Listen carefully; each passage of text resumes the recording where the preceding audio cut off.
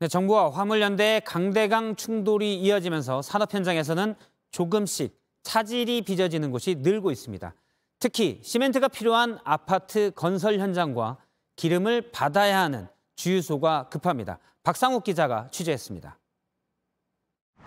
품절이라고 큼지막하게 써 있습니다. 휘발유 가격이 붙어 있어야 할 자리입니다. 기름이 부족해서 품절이 되고 못 사는 경험을 하... 태어나서 처음 이곳뿐만이 아닙니다. 언제부터 그러셨는지 오늘 오늘 탱크롤이 운전 노동자들이 파업을 하면서 제때 휘발유를 공급받지 못했기 때문입니다. 지금까진 서울에서 9곳이 이렇게 휘발유가 없어서 못 팔고 있습니다.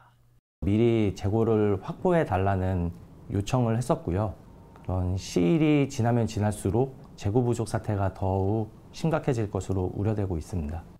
시멘트를 기다리는 거푸집만 덩그라니 놓여 있습니다.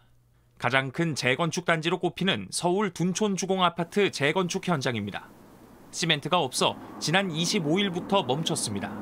이렇게 공사를 하지 못하는 곳은 전국 900여 현장 가운데 절반이 넘습니다.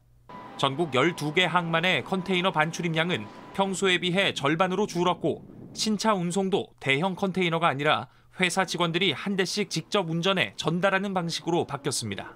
JTBC 박상규입니다.